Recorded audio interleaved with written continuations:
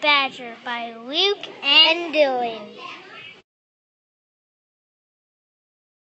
I woke up at night out of my burrow. I crawled over to Shake Shack, got a Beetle milkshake, and it was good.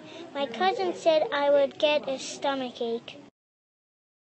One day I woke up at night. I went to the movies and got some acorn. I woke up in the night, went to Pete's. I ordered fly soup well, but I couldn't order because the bear where I ordered almost ate me.